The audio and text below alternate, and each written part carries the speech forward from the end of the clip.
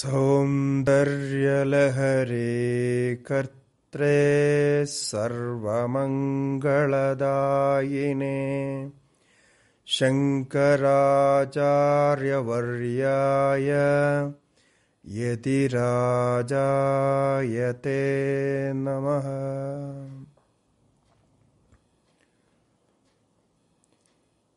സൗന്ദര്യലഹരിയുടെ ഒന്നാമത്തെ ശ്ലോകമാണ് നോക്കിയത്. ഒന്നാമത്തെ ശ്ലോകത്തിൽ ശിവശക്തി ഐക്യത്തെ പ്രതിപാദിച്ചുകൊണ്ട് സൃഷ്ടിയുടെ ആദിമ അവസ്ഥ അത് എങ്ങനെയായിരിക്കും എന്ന് സൂചിപ്പിച്ചു. ശിവൻ പരമാത്മാവ് ശക്തി മായാശക്തി എന്ന് കൽപ്പിക്കുമ്പോൾ വേദാന്ത പ്രതിപാദിതമായ സൃഷ്ടിയുടെ ആദിമ അവസ്ഥ വ്യക്തമാക്കുകയാണ്. ആചാര്യസ്വാമിജികൾ വേദാന്തത്തിന്റെ സൃഷ്ടിപ്രക്രിയയെ അദ്ദേഹത്തിന്റെ ഭാഷ്യങ്ങളിലും പ്രകരണങ്ങളിലും അതുപോലെ തന്നെ സ്തോത്രങ്ങളിലും പല രീതിയിലും പ്രതിപാദിച്ചിട്ടുണ്ട്. സരളമായ രീതിയിൽ പ്രതിപാദിക്കുന്നത് ആചാര്യസ്വാമിജികളുടെ ഒരു രചനാശൈലി കൂടിയാണ്. ഒരു ദാർശനിക ഗ്രന്ഥം പറയുമ്പോൾ ദാർശനിക ഗ്രന്ഥത്തിന് ചില ലക്ഷണങ്ങൾ പറയപ്പെടുന്നുണ്ട്. അതിൽ സൃഷ്ടി പ്രതിപാദനം ഉണ്ടാകണം എന്ന ഒരു നിയമമാണ്. സൗന്ദര്യലഹരി സ്തോത്രം ഒരു ദാർശനിക ഗ്രന്ഥമാണ് എന്ന് നമുക്ക് പറയാൻ കഴിയില്ല. പക്ഷേ ആ പരാശക്തിയെ വർണിക്കുമ്പോൾ പ്രപഞ്ചത്തിന്റെ പരമകാരണത്തെ നാം സ്മരിക്കുമ്പോൾ സ്തുതിക്കുമ്പോൾ ആ പ്രപഞ്ചത്തിന്റെ പരമകാരണം പ്രപഞ്ച സൃഷ്ടിക്ക് മുമ്പ് എന്തായിരുന്നു എങ്ങനെയായിരുന്നു എന്ന് അറിയേണ്ടത് ആവശ്യം തന്നെയാണ്. ആചാര്യസ്വാമിജികളുടെ തനതായ ശൈലിയിൽ നേരത്തെ സൂചിപ്പിച്ചതുപോലെ ശിവശക്തി ഐക്യത്തെ പ്രതിപാദിപ്പിച്ചുകൊണ്ട് എന്നാൽ തന്റെ ഏറ്റവും വിനയഭാവത്തെ ദേവിയുടെ മുന്നിൽ പ്രകടിപ്പിച്ചുകൊണ്ട് ഒന്നാമത്തെ ശ്ലോകം സൃഷ്ടിയുടെ ഉപോദ്ഘാതമായി. അത് സംബന്ധമായിട്ട് തന്നെ രണ്ടാം ശ്ലോകവും പറയുന്നുണ്ട്. ഒന്നാം ശ്ലോകത്തിൽ ഇപ്പോൾ ശിവ ശിവൻ ശക്തിയെ കൂടാതെ സ്പന്ദിക്ക പോലും ചെയ്യില്ല എന്ന് പറയുമ്പോൾ ശിവശക്തിയായുക്തൻ ആയിട്ട് സ്പന്ദനം ആരംഭിക്കുകയാണ്. സ്പന്ദനമെന്നത് സൃഷ്ടിയുടെ ആദ്യത്തെ ചലനം. അതാണ് സ്പന്ദനം. പരാശക്തിയുടെ പരാവാക്കിന്റെ ആദ്യത്തെ പ്രകടനം. ശൈവ സിദ്ധാന്തത്തിലൊക്കെ സ്പന്ദനത്തിന് വളരെ മഹത്വമുണ്ട്.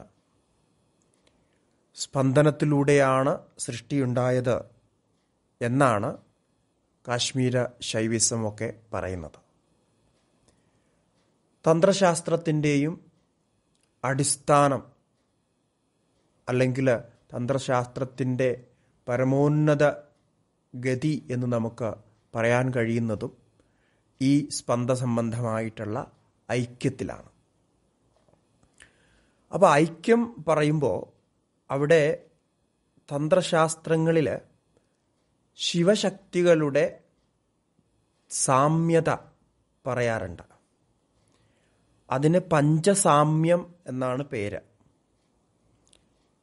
നാമം രൂപം നിവാസസ്ഥാനം പ്രവൃത്തികൾ പ്രവൃത്തികൾക്ക് പഞ്ചകൃത്യങ്ങൾ എന്ന് പേരുണ്ട്. അതുപോലെ അനുഗ്രഹം. നാമം രൂപം നിവാസസ്ഥാനം പ്രവൃത്തി അനുഗ്രഹം. ഇത് അഞ്ചും ശിവനും ശക്തിക്കും തുല്യമാണ്. ശിവശക്തികൾ ഒരുമിച്ച് ചെയ്യുന്ന പോലെയാണ് ഈ പ്രവൃത്തികൾ ചെയ്യുന്നത്. അതിലെ പ്രവൃത്തികളിൽ പഞ്ചകൃത്യങ്ങളെന്ന് പറയുന്നുണ്ട്. ആ പഞ്ചകൃത്യങ്ങളിൽ സൃഷ്ടി സ്ഥിതി സംഹാരം വിലയം ആവരണം അനുഗ്രഹം. അതിൽ ഈ സൃഷ്ടിസ്ഥിതി സംഹാര വിലയം ആവരണം ഇവ ഈ പഞ്ചകൃത്യങ്ങളിൽ പെടുന്നവയാണ്. അപ്പോൾ അതിൽ സാമ്യം ആദ്യം കാണിച്ചിട്ട് ഒന്നാമത്തെ ശ്ലോകത്തിൽ രണ്ടിന്റെയും ഐക്യം പ്രതിപാദിച്ചിട്ട് അടുത്ത രണ്ടാമത്തെ ശ്ലോകത്തിൽ സൃഷ്ടിസ്ഥിതി സംഹാരങ്ങളുടെ മൂർത്തികളുടെ രൂപത്തിൽ ബ്രഹ്മാവിനെയും വിഷ്ണുവിനെയും ശിവനെയും കാണിച്ചുകൊണ്ട് ആ സൃഷ്ടി പ്രക്രിയയെ മുന്നിലേക്ക് കൊണ്ടുപോവുകയാണ്. ദേവിയുടെ മഹാത്മ്യം അറിയാൻ ഈ സൃഷ്ടി പ്രക്രിയയുടെ സാരാംശവും അറിഞ്ഞിരിക്കേണ്ടത് ആവശ്യമാണ്. ജ്ഞാനത്തിന്റെ വഴിയെ പോകുന്ന ഏതൊരു സാധകനും ഈ സൃഷ്ടിപ്രക്രിയ എന്താണ് എന്ന് അറിഞ്ഞിരിക്കണം. അതറിയാതെ ഒരിക്കലും നമുക്ക് മുന്നോട്ട് ഗതിയില്ല സാധനാതലത്തിൽ. എല്ലാ ദാർശനികരും അവരവരുടെ സിദ്ധാന്തങ്ങളിൽ ആദ്യം പ്രതിപാദിക്കുന്നത് സൃഷ്ടിപ്രക്രിയയാണ്. അപ്പോൾ ആ രീതിയിൽ ആ പരാശക്തിയുടെ എല്ലാ ചരാചരങ്ങളിലും ആന്തരിക ശക്തിയുടെ രൂപത്തിൽ കുടികൊള്ളുന്ന പരമകാരണമായി കുടികൊള്ളുന്ന ജീവനിലും ജഡത്തിലും ഒരുപോലെ സ്പന്ദിക്കുന്ന ആ ശക്തിയെയാണ് ബ്രഹ്മാദി ദേവന്മാർ പോലും നമിക്കുന്നത് എന്ന് പറയുമ്പോൾ സൃഷ്ടിസ്ഥിതി സംഹാരങ്ങൾ ആ ശക്തിയുടെ തന്നെ അധീനത്തിലാണ് എന്ന് വരുന്നു. പരാശക്തിയുടെ സുന്ദരമായ രൂപത്തെ ഇവിടെ വർണിക്കുകയാണ് ആചാര്യസ്വാമിജികൾ ചെയ്യുന്നത്. അതിൽ ആചാര്യസ്വാമിജികളുടെ ഭക്തിഭാവം സമർപ്പണഭാവം അതുപോലെ ജ്ഞാനത്തിലുള്ള ഉറപ്പ് അദ്വൈത നിഷ്ഠയിലുള്ള ഉറപ്പ് അതൊക്കെ നമുക്കിവിടെ കാണാൻ പറ്റും. അതിന്റെ ആന്തരികാർത്ഥം പറയുന്നത് ജ്ഞാനത്തിന്റെ ഐക്യതയിലേക്കാണ്. എപ്പോഴും ദ്വൈതത്തിൽ തുടങ്ങുന്ന പ്രതിപാദനം ദ്വൈതത്തിലല്ല അവസാനിക്കുക. ദ്വൈതത്തിൽ തുടങ്ങുന്ന പ്രതിപാദനം അദ്വൈതത്തിലാണ് അവസാനിക്കുക. ഇത് വേദാന്ത പ്രക്രിയയുടെ കൂടി ഒരു ഭാഗമാണ്. ഇപ്പോൾ ബ്രഹ്മസൂത്രം പോലെയുള്ള വേദാന്ത ഗ്രന്ഥങ്ങളിൽ പോലും ആചാര്യസ്വാമിജികൾ അധ്യാസ ഭാഷ്യത്തിൽ ദ്വൈത രൂപത്തിൽ പറഞ്ഞുകൊണ്ടാണ് തുടങ്ങുന്നത്. യുഷ്മദസ്മത് പ്രത്യയ ഗോചരയോഹോ വിഷയവിഷയിണോഹോ എന്ന ദ്വൈതം രണ്ട് കാണിച്ച് രണ്ട് വിഭാഗം കാണിച്ചാണ് തുടങ്ങുന്നത്. അതുപോലെ ദ്വൈതത്തിന്റെ പ്രതിപാദ്യം അല്ലെങ്കിൽ അതിന്റെ പരമമായ സ്ഥിതി അദ്വൈതം തന്നെയാണ്. നരഹരി എന്ന് പറയുന്ന വലിയൊരു പണ്ഡിതൻ സിദ്ധനായ ഒരു പണ്ഡിതൻ അദ്ദേഹത്തിന്റെ ഗ്രന്ഥത്തിൽ പ്രതിപാദിച്ചിട്ടുണ്ട്. അദ്ദേഹം പറയുന്നത് ഭക്ത്യർത്ഥം കൽപ്പിതം ദ്വൈതം അദ്വൈതാദഭിസുന്ദരം ഈ നരഹരി സ്വാമിജികൾ അദ്വൈതവാദിയാണ്. അദ്ദേഹത്തിന്റെ ബോധസാരം എന്നുള്ള ആ ഗ്രന്ഥം പൂർണമായിട്ടും അദ്വൈതത്തെ പ്രതിപാദിക്കുന്നതാണ്. പക്ഷെ അദ്ദേഹം പറഞ്ഞത് ഭക്തിയർത്ഥം കൽപ്പിതം ദ്വൈതം. ഭക്തിക്ക് വേണ്ടി കൽപ്പിച്ചിട്ടുള്ള ആ ദ്വൈതം അദ്വൈതാദപി സുന്ദരമെന്നാണ്. ആ ഭാവം ശങ്കരാചാര്യ സ്വാമിജികൾ ഇവിടെ വ്യക്തമാക്കുകയാണ്.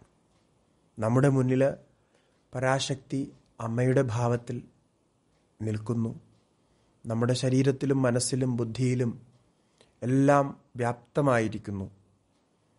അതിനെ ഒരു സുന്ദരമായ രൂപത്തിൽ ദേവീഭാവത്തിൽ ആവാഹിച്ചുകൊണ്ട് നമ്മൾ വണങ്ങുന്നു എന്ന ആ ഒരു ഭാവത്തിൽ ഇവിടെ ഇനി വരുന്ന ശ്ലോകങ്ങൾ കാണാം. കഴിഞ്ഞ ശ്ലോകത്തിൽ തന്നെ ഞാൻ പറഞ്ഞതാണ്. ഈ ഗ്രന്ഥം ഈ ശ്ലോകങ്ങളൊക്കെ പല ഭാവങ്ങളെ ഉൾക്കൊണ്ടുകൊണ്ടാണ് പോകുന്നത്. അപ്പോൾ ഇതിൽ കാവ്യഭാവനയുമുണ്ട് ഭക്തിഭാവനയുമുണ്ട് ജ്ഞാനവുമുണ്ട്. അതുപോലെ തന്നെ ശ്രീവിദ്യ രഹസ്യങ്ങളെ പറയുന്ന മന്ത്രങ്ങളുണ്ട്. ആ മന്ത്രരഹസ്യങ്ങളെയും മന്ത്രങ്ങളുടെ പ്രയോഗങ്ങളെയും കുറിച്ച് നമ്മളിവിടെ വിശദമായി ചർച്ച ചെയ്യുന്നില്ല. അത് നേരിട്ട് ആചാര്യനിൽ നിന്ന് പഠിച്ച് അനുഷ്ഠിക്കേണ്ടതായതുകൊണ്ട് അങ്ങനെ പറയുന്നില്ല. അതുപോലെ തത്വം ഓരോന്നിലും തത്വത്തെ പ്രതിപാദിക്കുന്നത് കൊണ്ട്. ആചാര്യസ്വാമിജികൾ ചില ശ്ലോകങ്ങളിൽ തത്വജ്ഞാനിയുടെ ഭാവത്തിലും മറ്റു ചില ശ്ലോകങ്ങളിൽ ഒരു ജിജ്ഞാസുവായ ഒരു കുട്ടിയായിട്ടും എന്നാൽ മറ്റ് വേറെ ചില ശ്ലോകങ്ങളിൽ ഒരു അമ്മയുടെ ഭാവത്തിൽ കാണുന്ന ദേവിയുടെ ഭാവത്തിൽ കാണുന്ന ഒരു കവിയായിട്ടുമൊക്കെ സ്വയം പ്രകടമാക്കുന്നുണ്ട്. അപ്പോൾ അത് ഓരോ ശ്ലോകത്തിലും നമ്മൾ ശ്രദ്ധിച്ചാൽ ശ്ലോകത്തിന്റെ രഹസ്യം നമുക്ക് പെട്ടെന്ന് മനസ്സിലാകും. വ്യാഖ്യാതാക്കൾ ഓരോ ശ്ലോകത്തെയും പല തരത്തിൽ വ്യാഖ്യാനിച്ചിട്ടുണ്ട്. അത്രയും വിസ്തരിച്ച വ്യാഖ്യാനങ്ങൾ സംസ്കൃതത്തിൽ തന്നെ അനേകം വ്യാഖ്യാനങ്ങളുണ്ട്. അതുപോലെ ഈ ശ്ലോകങ്ങൾ അനുഷ്ഠിച്ച് അതിന്റെ ഫലങ്ങൾ അനുഭവിച്ച അനുഭവ സമ്പന്നരായിട്ടുള്ള ആൾക്കാരുടെ വ്യാഖ്യാനങ്ങൾ അതത് രീതിയിലും പ്രകടമായിട്ടുണ്ട്. അങ്ങനെ ഇതിന് പല വശങ്ങളും പല രീതിയിലും വ്യാഖ്യാനിക്കാൻ പറ്റുന്ന ഒരു സത്ത ഒരു മഹാത്മ്യം ഈ ശ്ലോകങ്ങൾക്കുണ്ട്. നമ്മൾ സരളമായിട്ട് ഈ വാക്കുകളുടെ അർത്ഥം മനസ്സിലാക്കി താത്പര്യത്തിലൂടെ ഒരു ധ്യാനാവസ്ഥ പ്രാപിക്കാൻ അതിനെക്കുറിച്ച് ചിന്തിക്കാൻ നമുക്ക് കഴിയുക. അമ്മയുടെ ഭാവം നമ്മുടെ മനസ്സിൽ എപ്പോഴും നിറഞ്ഞു വരിക. അതാണ് ഈ വ്യാഖ്യാനം കൊണ്ട് ഉദ്ദേശിക്കുന്നത്. രണ്ടാമത്തെ ശ്ലോകത്തിന്റെ അന്വയം പറയാം. തനീയാം സംപാംസും തവ ചരണപങ്കേരുഹഭവം. വിരിഞ്ചി വിരജയതി ലോകാനവികലം. ഇതിന്റെ അന്വയം വരുന്നത് വിരിഞ്ചിഹി തവ ചരണ പങ്കേരുഹഭവം തനീയാംസം പാംസും സച്ചിൻ സഞ്ചിന്വൻ ലോകാൻ അവികലം വിരചയതി വഹത്തി ഏനം ശൗരി കഥമപി സഹസ്രേണ ശിരസാം ശൗരിരേനം ശിരസാം സഹസ്രേണ കഥമപി വഹതി. ഏനം സംക്ഷുഭ്യ ഹരഹ ഭസിതോദ്ധൂളനവിധിം ഭജതി. സംസ്കൃതത്തിൽ ശ്ലോകങ്ങൾക്ക് അന്വയം പറയുന്ന രണ്ട് രീതിയുണ്ട്. അതിന് ദണ്ഡാന്വയമെന്നും ഖണ്ഡാന്വയമെന്നും പറയും. ദണ്ഡാന്വയമാണ് ഇപ്പോൾ നാം ഇവിടെ പറഞ്ഞത് വിരിഞ്ചിസ്തവചരണ പങ്കേരുഹഭവം തനീയാംസം പാംസും സഞ്ചിന്വൻ എന്നൊക്കെ വാക്യരീതിയിൽ പറയുന്നതിനെയാണ് ദണ്ഡാന്വയം എന്ന് പറയാം. ഒരു ദണ്ഡം പോലെ ഇതിന് ദീർഘമായിട്ട് ശ്ലോകത്തിന്റെ പദങ്ങളെ ക്രമപ്പെടുത്തി പറയുന്ന. ഖണ്ഡാന്വയം എന്ന് പറഞ്ഞു കഴിഞ്ഞാൽ ഓരോന്നും പ്രത്യേകം പ്രത്യേകമാക്കി മാറ്റി അതിന്റെ ഓരോ പദത്തിന്റെയും പൂർവപദ സംബന്ധം നോക്കി ആകാംക്ഷ നോക്കി അത് പറയുക. ഇത് ചെയ്യുന്ന രീതി ആണ് ശ്ലോകത്തിന്റെ അന്വയം ചെയ്യുന്ന രീതിയാണ്. നമ്മളിവിടെ ദണ്ഡാന്വയ രീതിയിലാണ് നോക്കുന്നത്. ഖണ്ഡാന്വയം വളരെ വിസ്തൃതമായി പോകും. അതിൽ ഇവിടെ ബ്രഹ്മാദികളുടെ സൃഷ്ടികർത്തൃത്വം ഭഗവതി ദേവിയുടെ പദാംബുജത്തിൽ നിന്നുണ്ടായ രേണുക്കൾ സ്വീകരിച്ചുകൊണ്ടാണ് എന്ന് പറയുകയാണ്. ഈ പ്രപഞ്ചത്തിന്റെ കാരണം അതിൽ നമ്മൾ ഉപാദാന കാരണമെന്ന് പറയും. ഈ പ്രപഞ്ചം ഉണ്ടാക്കാനുള്ള മെറ്റീരിയൽ കോസ് എന്ന് പറഞ്ഞാൽ അതായിരിക്കും ശരി. അതെന്താണ് എന്ന് ചോദിച്ചാൽ ആ പരാശക്തിയുടെ ചരണാരവിന്ദങ്ങളിലെ രേണുക്കളാണ് കണങ്ങളാണ്. സൂക്ഷ്മാതിസൂക്ഷ്മങ്ങളായ ആ കണങ്ങളെ സ്വീകരിച്ചുകൊണ്ടാണ് അതെല്ലാം ഒരുമിച്ചെടുത്തുകൊണ്ടാണ് ബ്രഹ്മാവ് ഈ സൃഷ്ടി ചെയ്യുന്നത്. അതുപോലെ സൃഷ്ടിക്ക് ശേഷം ചെയ്യേണ്ടത് സ്ഥിതിയാണ്. അപ്പോൾ സ്ഥിതി എങ്ങനെയാണ് ചെയ്യുന്നത്? അതേ രേണുവിനെ എടുത്ത ആ ശക്തി പ്രാപിച്ച് ശൗരിയാകുന്ന മഹാവിഷ്ണു തന്റെ ശേഷാവതാരം സ്വീകരിച്ച് നൂ ആയിരം ശിരസ്സുകൊണ്ട് അതിനെ വഹിക്കുന്നു. അപ്പം ശേഷനാണ് പൃഥിവിയെ ധരിച്ചിരിക്കുന്നത് എന്ന് പുരാണ കഥയുണ്ട് ആ ഭാവത്തിലാണിവിടെ പറഞ്ഞത്.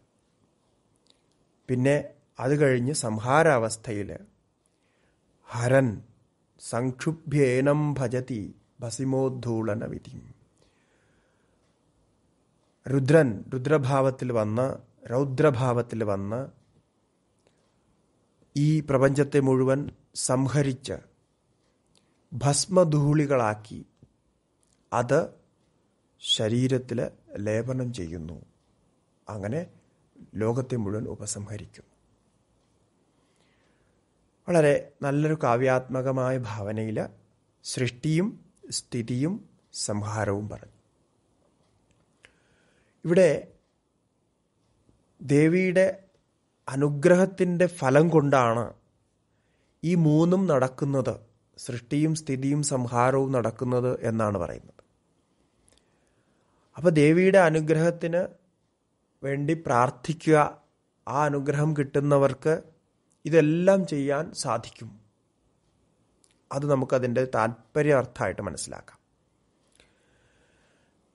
അതിലെ വിരിഞ്ചി വിരിഞ്ചി ബ്രഹ്മാവ് തവ ചരണ പങ്കേരുഹഭവം. അല്ലയോ ദേവി നിന്റെ ചരണകമലങ്ങളിൽ ഉണ്ടായതായിട്ടുള്ള തനീയാംസം പാംസും സൂക്ഷ്മാതിസൂക്ഷ്മമായ ധൂളിയെ സചിൻ സംചിന്വൻ അതിനെ കൂട്ടിയെടുത്ത് ചേർത്തെടുത്ത് അതെല്ലാം ഇങ്ങനെ ഉരുട്ടിയെടുത്ത് ലോകാൻ ഈ ലോകങ്ങളെ മുഴുവൻ ഈ ബ്രഹ്മാണ്ടത്തെ മുഴുവൻ പതിനാല് ലോകങ്ങൾ എന്ന് നമ്മൾ പറയുന്ന ആ ബ്രഹ്മാണ്ടത്തെ മുഴുവൻ അവികലം വിരചയതി. പൂർണമായിട്ടും ഉണ്ടാക്കും വികലം എന്ന് പറഞ്ഞാൽ കുറവ് കുറഞ്ഞത്. അല്ലെങ്കിൽ എന്തെങ്കിലും ദോഷങ്ങളുള്ളത്.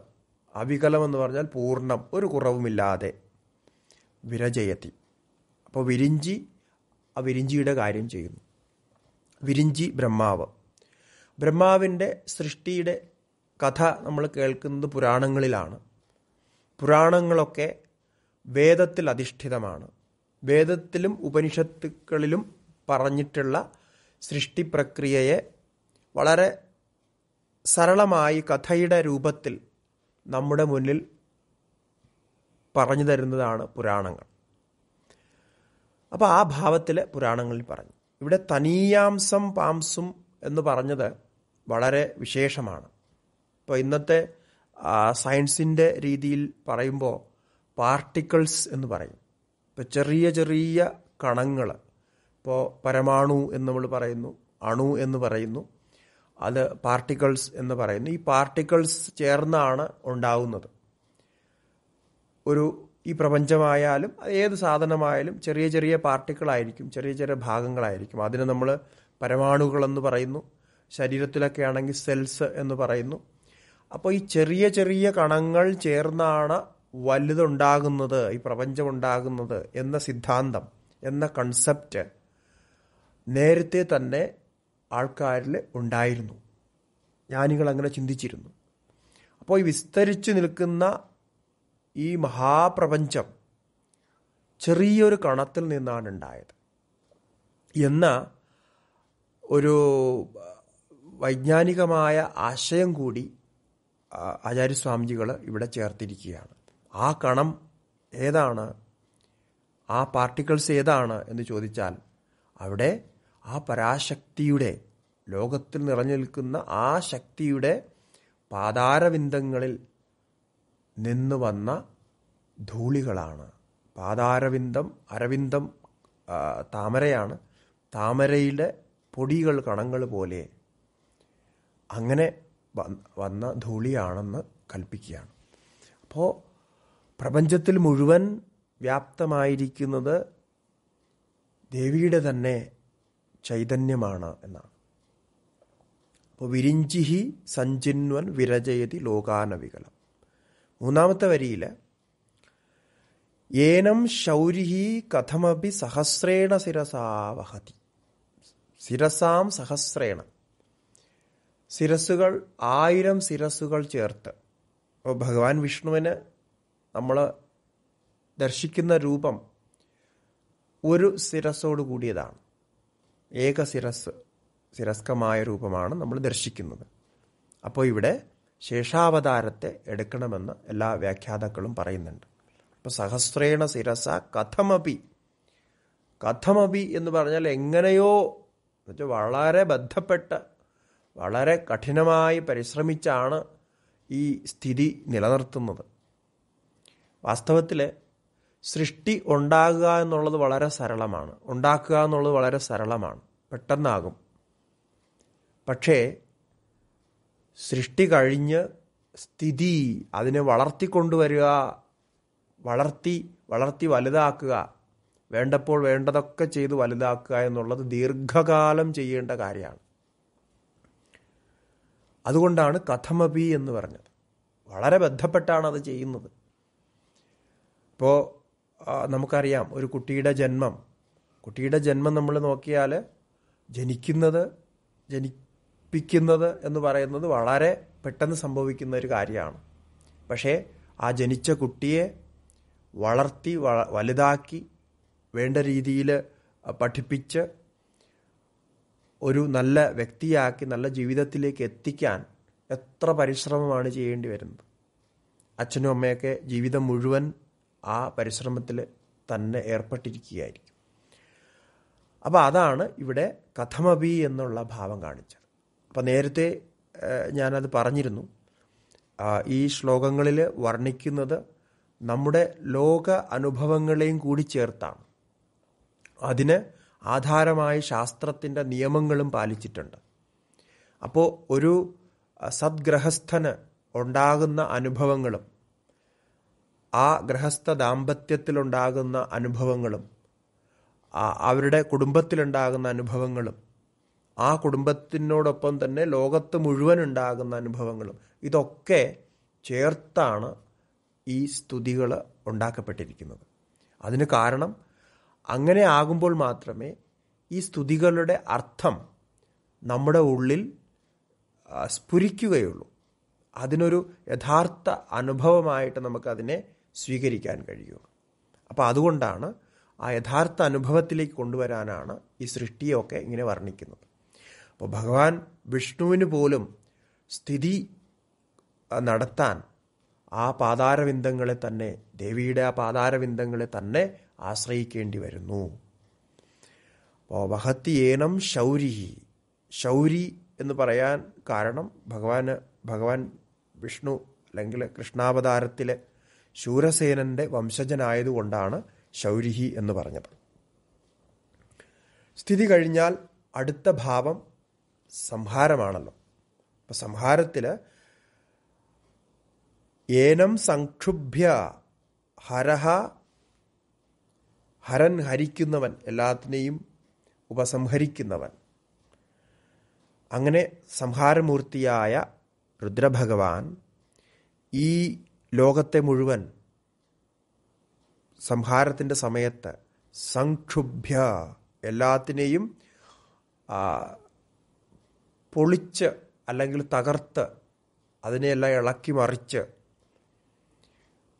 അതിനെ പൊടിയാക്കി എന്നിട്ട് ഭസ്മമാക്കി ഭസിത ഭസിതോദ്ധൂളന വിധിയും ഭജതി. അതിനെ ഭസ്മം പോലെയാക്കി ഭസ്മീകൃതമാക്കി എന്നിട്ട് ശരീരത്തിൽ തേക്കുന്നു അതായത് ഉദ്ധൂളന വിധി ഉദ്ധൂളനം ചെയ്യുന്നു. ശരീരത്തിൽ തേക്കുന്നു അപ്പോൾ അത് ശിവന്റെ ശിവന്റെ ശരീരത്തിലെ ധൂളികളായിട്ട് ആ പ്രപഞ്ചം അതിൽ ലയിക്കുന്നു എന്നാണ്. അപ്പോൾ ഇവിടെ ചിന്തിക്കാൻ പറ്റുന്നൊരു രഹസ്യം. സൃഷ്ടിക്ക് കാരണമായിരിക്കുന്നത് സ്പന്ദനമാണ് ആ സ്പന്ദനം ദേവിയുടെ ശക്തിയാണ് ആ ശക്തിയാണ് എല്ലാത്തിലും വ്യാപ്തമായി നിൽക്കുന്നത് എന്ന് പറഞ്ഞു ആദ്യത്തെ ശ്ലോകത്തിൽ ശിവന്റെയും ശക്തിയുടെയും ഐക്യം കാണിച്ചു. ശക്തിയില്ലാതെ എങ്ങനെയാണോ ശിവന് സൃഷ്ടി ചെയ്യാൻ പറ്റാത്തത് അതുപോലെ ശിവനില്ലാതെ ശക്തിക്കും സൃഷ്ടി ഉണ്ടാവില്ല എന്ന് നമ്മൾ കരുതണം. രണ്ടിന്റെയും താതാത്മ്യം അവിടെ പറയുന്നു. ഈ ഈ കൺസെപ്റ്റ് അങ്ങനെ വളർന്ന് നമ്മൾ അതിനെ അങ്ങനെ വികസിപ്പിച്ച് നോക്കിയാൽ സ്ത്രീ പുരുഷ അല്ലെങ്കിൽ രണ്ട് ഭാഗം ഒരു ജന്മത്തിന് വേണ്ട രണ്ട് ഭാഗം സ്ത്രീ എന്ന പുരുഷൻ എന്ന ഭാഗം എല്ലാ ചരാചരങ്ങളിലുമുണ്ട് അത് വൃക്ഷങ്ങളായാലും മറ്റു ജീവികളായാലും എല്ലാത്തിലും അങ്ങനെയാണ്. അപ്പം ഇത് ഒന്നിന്റെ തന്നെ രണ്ട് ഭാഗങ്ങളാണ് എന്ന ഒരു കൺസെപ്റ്റ് എന്നൊരറിവ് നമ്മുടെ ശാസ്ത്രങ്ങൾക്ക് മുമ്പേ ഉണ്ടായിരുന്നു. അതായത് ഒരു കോശ ജീവിയാണ് ആദ്യം ഉണ്ടായത് പിന്നീടാണ് അതിൽ നിന്ന് വളർന്നതെന്ന് നമ്മുടെ സയൻസൊക്കെ പറയുന്നത് പോലെ. മനുസ്മൃതിയിൽ ഇത് വ്യക്തമായിട്ട് പറയുന്ന ഒരു ശ്ലോകമുണ്ട്. അത് നമ്മൾ ഓർക്കുന്നത് നല്ലതായിരിക്കും. ഇത് രണ്ടിനെയും കൂടെ ചേർക്കുന്ന ഒരു അവസ്ഥയിൽ. ദ്വിധാ കൃത്വാത്മനോദേഹം അർദ്ധേന പുരുഷോഭവത് അർദ്ധേന നാരീ തസ്യാം ച വിരാജമസൃജത് പ്രഭു എന്ന് പറയുന്നുണ്ട്. അതായത് ഒന്നായിരുന്ന ആ പരമാത്മാവ് തന്നെ തന്നെ രണ്ടായിട്ട് വിഭജിച്ചു. സ്ത്രീയായിട്ടും പുരുഷനായിട്ടും. ഒന്നായിരുന്ന ഒരേ പിണ്ഡം രണ്ട് ഭാഗമായി മാറി ഒരു ഭാഗം സ്ത്രീയും ഒരു ഭാഗം പുരുഷനുമായി എന്നാ പറയുന്നത്. അപ്പോൾ ഇവിടെ സ്ത്രീ പുരുഷ സാമ്യത അല്ലെങ്കിൽ സ്ത്രീ പുരുഷ സമത്വം. ആ ഒരു വലിയൊരു കൺസെപ്റ്റ് ഇവിടെ വളരെ വ്യക്തമാണ്. സ്ത്രീ ഇല്ലാതെ പുരുഷനില്ല പുരുഷനില്ല സ്ത്രീ ഇല്ല എന്ന് പറയുമ്പോൾ സൃഷ്ടിയുടെ രഹസ്യത്തിൽ നമ്മൾ നോക്കുമ്പോൾ രണ്ടും ഒന്നാണ് രണ്ടും ഒന്നായിരുന്നു എന്നാണ് കാണാൻ കഴിയുന്നത്.